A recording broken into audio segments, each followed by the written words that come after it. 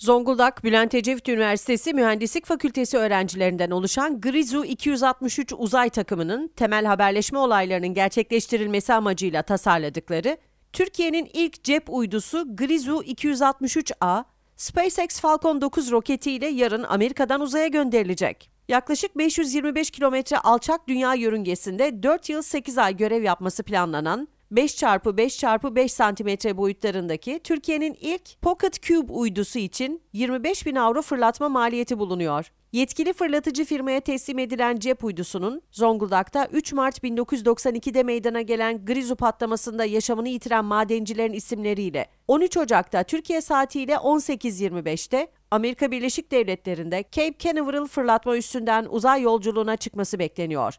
Grizu 263 uzay takımının danışmanı Profesör Doktor Bülent Ekmekçi, öğrencilerin bu başarısının yeni başarılarının habercisi olacağını söyledi. Bir hayali gerçekleştirmek için yola çıktıklarını ve yarını büyük heyecanla beklediklerini belirten Ekmekçi, hikayemiz 5 yıl önce başladı. Büyük emekler vererek bugüne geldik. Öğrencilerimiz çalıştıkları zaman neleri başarabileceklerini bizlere gösteriyor. Onlarla gurur duyuyoruz. Umarım bundan sonra da üzerine koyarak yeni başarılar elde edip üniversitemizin ismini duyurmaya devam edeceğiz. Bütün bu sürecin bu noktaya gelmesinde bizlere önemli destekler veren OYAK Genel Müdürü ve Erdemir Yönetim Kurulu Başkanı Sayın Süleyman Savaş Erdem'e teşekkürlerimi sunuyorum diye konuştu.